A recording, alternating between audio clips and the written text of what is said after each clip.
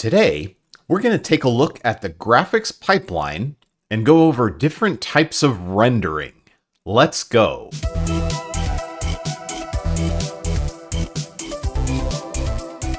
So we're just getting into this new series of videos on performance optimization. Before we begin, I want to ask everyone a favor. I've been doing optimization for a long time, and I know a lot, but I don't know everything. During the video, if there's something you notice that I leave out or don't get quite right, please let me know in the comments. It's important to me to make these videos as helpful as possible, and your contributions of additional information can really help with that. Thank you.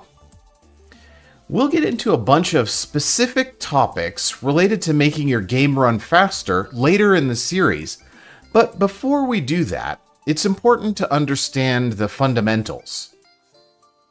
We're going to cover two major fundamental topics today. First, I'm going to take you on a tour of the graphics pipeline so you'll understand what the hardware is doing to render your game. And second, I'm going to go over the major types of rendering, forward rendering and deferred rendering. As I mentioned, it's important to understand these fundamental principles before we get into what to optimize specifically. Alright, so let's get going. When an object is rendered, the data starts out on the CPU, where your 3D program, Unity, Unreal, Maya, or a game, passes vertex data through the graphics API that uh, DirectX, Metal, or Vulkan to the graphics driver. In future videos, we're going to talk a lot about draw calls. A draw call is a command that your 3D software or game issues to tell the computer to render an object or part of an object. The CPU needs to process the data in the draw call here in this stage. And this is really where optimization starts. So, when we get into it, a major focus of the series is going to be on reducing the rendering load by lowering the number of draw calls. Anything we can do to reduce the number of draw calls that the CPU has to process and then send to the GPU will improve performance. So we're going to go deeper into options for doing that in a future video. Alright, so the driver sends the data to the GPU's front end which is the part of the graphics chip designed for communicating with the CPU. This data path between the CPU and the GPU has limited bandwidth, and so we're also going to discuss something that can be done to uh, to reduce how much information has to be sent between the two processors. Then, the data gets sent to the programmable vertex processor. This is the part of the graphics chip where your vertex shader runs. The vertex data consists of vertex positions in object space, UV coordinates, vertex colors, and normals. The most important thing that the vertex processor does is transform the vertex positions from object space, where they start, to screen projection space, so that they can be turned into triangles and drawn to the screen. But the vertex shader that you create can also animate the positions of the vertices, scroll the UV coordinates, bend the vertex normals, and even calculate lighting or other data and store it in vertex colors. When programmable graphics hardware was brand new, most of the work on the GPU was done here at the vertex stage, but now, the vertex shader mostly just does the vertex transforms, and most of the magic happens in the pixel shader. However, if there are operations in your shader that can be moved from the pixel shader back here to the vertex shader instead, like scrolling the UV coordinates or calculating fog, you can speed up performance a lot by doing these calculations per vertex instead of per pixel. If the polygon count in your scene is too high, this is where the bottleneck is. But really, it's the number of vertices that's causing the slowdown. it's taking the GPU too long to transform the vertices from object space to screen projection space. We'll get into uh, what to do about this problem a bit later in the series. The next thing that happens is called primitive assembly. The graphics chip connects all of the vertices together to create triangles. So the result of the vertex shader combined with the primitive assembly step is triangles on in screen projection space. Then the data gets passed to the rasterization and interpolation unit. The job of this hardware is to convert the triangles into pixels on the screen. So instead of just having a set of triangles, we have pixels on the screen that represent the triangles. This process is a little bit like opening an Adobe Illustrator file in Photoshop. The points and curves and lines in Illustrator are converted into pixels in the Photoshop file. That's what's happening here. The hardware is converting our triangles into pixels. The other thing that happens during this step is called interpolation. The data that was stored in each of the vertices is interpolated to the pixels. So for example, with vertex color, we have a blue vertex on the left and a green vertex on the right, and all of the pixels in between get a linear gradient blend from blue to green, and you can see that the same thing is happening with the red vertex on the top here. This also applies to UV coordinates and normals. The data gets smoothly interpolated from the vertices into the pixels. Next, that interpolated pixel data is sent to the programmable pixel processor. And this is where your pixel shader runs. It takes the incoming data from your vertex shader and additional input data from the CPU to create the final results. This is one of the main places on the GPU where slowdowns can happen. If shaders are too complex, it takes a long time for the pixel processor to run them, and this will slow down your game. So we're going to put a major focus on optimizing shaders in this series and go over a bunch of different things you can do to make your shaders run faster.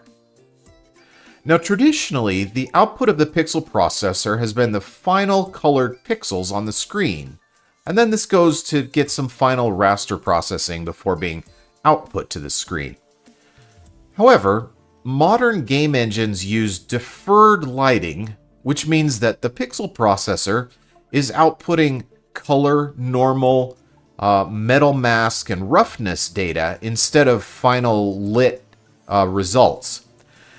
This data is written to a G buffer, and then the final lighting calculations happen with the data from those buffers in a separate pass. And this is the next process, uh, this is the next topic I want to cover in the video.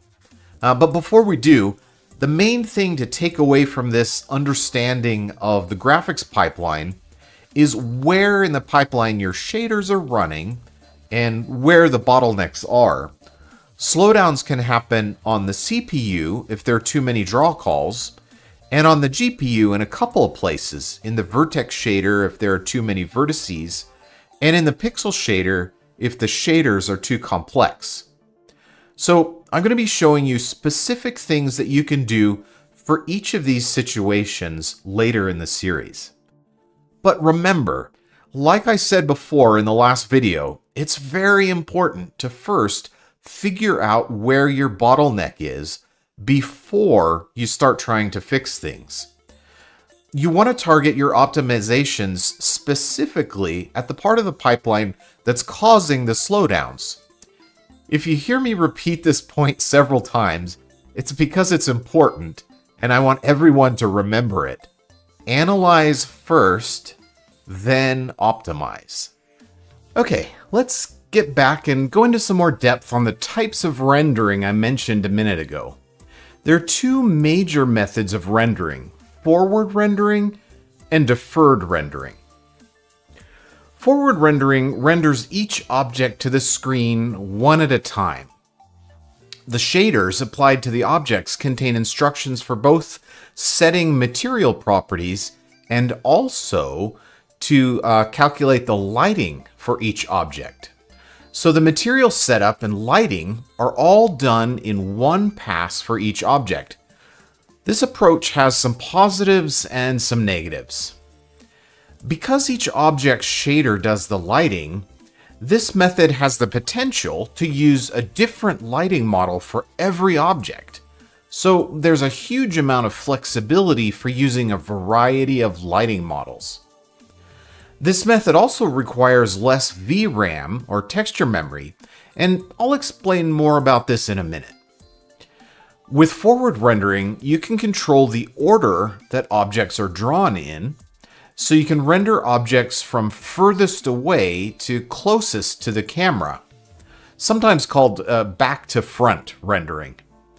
This is a requirement for objects that are transparent.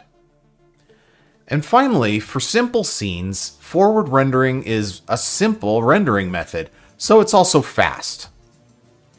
On the other hand, for scenes that are complex, especially if they have a high number of light sources lighting each object, forward rendering can get quite expensive. And that's why deferred rendering was developed. With deferred rendering, the rendering process is divided into two steps or phases. In the first step, all of the objects in the scene render their material properties color, normal, roughness, metallic, into an off-screen buffer called the G-buffer. So after that first pass, we have three or four screen-sized textures that contain the color, normal, roughness, and metallic data, and sometimes a bunch of other kinds of data as well, for the whole scene. In the second pass, the data in those full screen textures is used to calculate the final lighting, this means that the complexity of the lighting calculations is separated from the complexity of the geometry in the scene. And now, this method also comes with its own pluses and minuses. On the positive side, complex scenes with a high number of lights can be rendered a lot faster. And the lighting can use more complex and realistic techniques or formulas because it's just happening using those G-buffer textures instead of using the scene geometry. On the other hand, deferred rendering uses a large amount of texture memory because it has to store that G-buffer data. Also, because all of the lighting is done together in the second step, it makes it harder to use different types of lighting for different objects. It is possible, it just requires more effort and resources. Deferred rendering is fastest when everything in the scene uses the same lighting model. And finally, you can't render transparent objects using deferred rendering because objects are rendered front to back instead of back to front. So, uh, with these positives and negatives in mind for both methods, Let's talk about how the methods are used. First, forward rendering is most commonly used for lower-end hardware like mobile devices. And it's also great to use for scenes with just a few light sources. Deferred rendering is great for complex scenes rendered on higher-end hardware like PCs or consoles. Most modern game engines use both methods. In Unreal, for example, deferred rendering is used for the opaque objects in the scene, and then the transparent objects are rendered afterward in a separate stage that uses forward rendering. This allows the transparent objects to be sorted from back to front.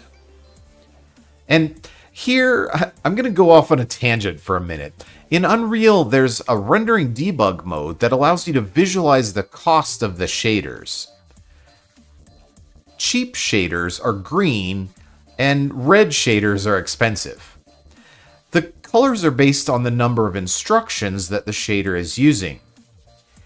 Uh, this is nice, but it's also misleading. Have you ever noticed that objects that are transparent are always red? Why is that? Does that mean transparent objects are super expensive and we should never use them? Uh, no. The problem here is that we're comparing apples and oranges. The number of instructions in an opaque object is low because opaque objects are using deferred rendering, so we're only actually seeing the number of instructions used in the first stage of rendering, the ones required to write to the gbuffer the lighting instructions are not included. On the other hand, the transparent objects are using forward rendering, so their shaders contain instructions for both the materials and the lighting. So it's really an unfair comparison. Sure, transparent objects are a bit more expensive to render than opaque ones, but this shader complexity debug view exaggerates the difference and makes the transparent objects look like they're more than twice as expensive, which isn't true. So keep that in mind when you're using this debug view. Okay, uh, back on topic. Because transparent objects are rendered using forward rendering, it's important to reduce the number of lights that are hitting them, because using lots of lights in forward rendering is more expensive. And just in general, Multiple large light sources can be expensive for both types of rendering, so be careful with lights and don't make them bigger than they need to be. We'll get into more details of all of this in, in a future video in this series. Alright, I think that about does it for this video. Next week, we're going to go over what needs to happen at the beginning of your project in terms of optimization. We'll talk about choosing your targets, discovering the capability of your target hardware, and then setting budgets for the various parts of your scene. And as I said at the beginning, if there's anything I said here that you'd like to expand on or that you think people could benefit from a deeper understanding, put those things down in the comments. I'd like this series to be as helpful as it can be, so if everyone contributes, we can make this a great learning resource. Thanks again for your help, and have a great week.